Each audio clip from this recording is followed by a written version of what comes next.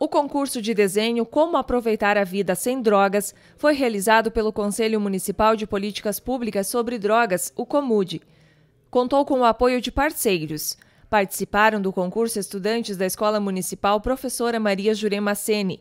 O Junho Branco é o mês de combate e prevenção às drogas. No dia 26 de junho foi instituído o dia pela ONU o Dia Internacional de Combate às Drogas. E as crianças fizeram um desenho dentro do tema Viva a Vida Sem Drogas. Saíram uns desenhos maravilhosos. Os ganhadores do concurso foram premiados durante uma solenidade realizada no Largo da Liberdade. Em terceiro lugar, ficou o estudante Eduardo Henrique Ferreira da Silva. Em segundo, Ana Cristina Alves.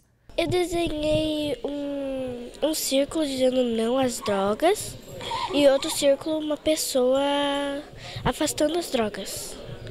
E eu fiz o Darin, que a gente teve Proerd, e um coração poluído com as drogas. Em primeiro lugar, Bernardo do Amaral. Eu coloquei uma menina é, metade drogada e metade não drogada. A metade drogada, ela é toda assim, com tudo preto, assim, tudo morto. E a metade que não tá drogada, a metade boa, eu coloquei bem colorido e várias coisas bonitinhas. Fiquei bem feliz porque minha mãe chegou, meu Deus, o que, que você fez lá na escola? Daí eu disse, meu Deus, o que, que eu fiz? Daí ela contou que eu fiquei em primeiro lugar e eu fiquei bem feliz. Eduardo preferiu não gravar entrevista.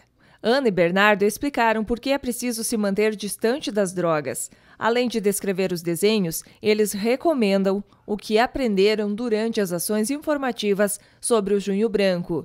Porque senão ela pode fazer mal para você. E você pode também morrer por causa delas. Isso é um alerta para toda a sociedade, então. Sim. Porque as drogas acredito que leva à morte. E também pode nem precisa ser as drogas. É, as drogas que são proibidas, podem ser as drogas ilícitas também. Todos os desenhos foram expostos para as famílias e apoiadores do concurso.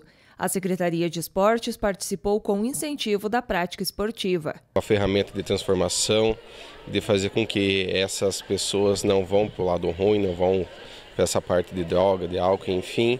O esporte a gente acredita que seja o maior aliado no combate a todas as drogas ilícitas e a gente está junto com, com o MUD, com, com toda a equipe, aí, fazendo com que realmente esse momento seja de despertar, de pensar, de realmente buscar algo bom para cada cidadão, para cada pessoa e começa pelo esporte, pela sua qualidade de vida. Todos os estudantes receberão medalha de participação.